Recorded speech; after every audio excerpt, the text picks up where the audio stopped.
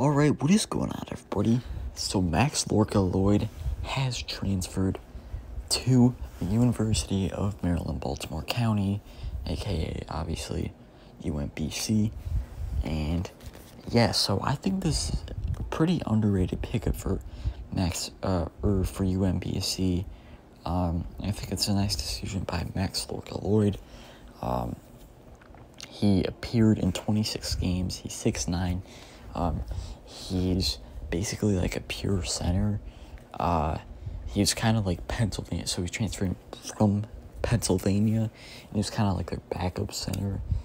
Um, and he averaged three points per game, four rebounds, one assist, and one block. Like, this is a really good kit for um, UMBC. Uh, we all know UMBC, um, their iconic uh, upset in 2018, the first team to ever pull off a 16 over 1 upset.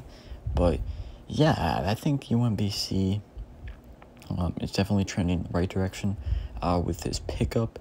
Uh, Max Lorca Lloyd, uh, I did um, only see him play once. I when uh, I watched uh, think it was Pennsylvania, Missouri. I think I saw him uh, in game getting some action uh, back in like November, October. I'm pretty sure.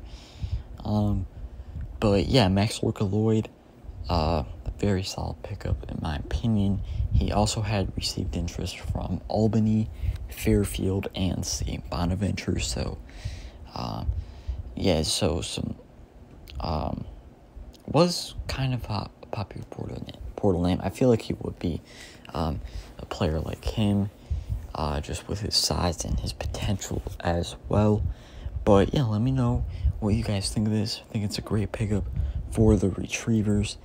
And yeah, let me know what you guys think of this and subscribe for more college basketball content. And yeah, I'll see you next one.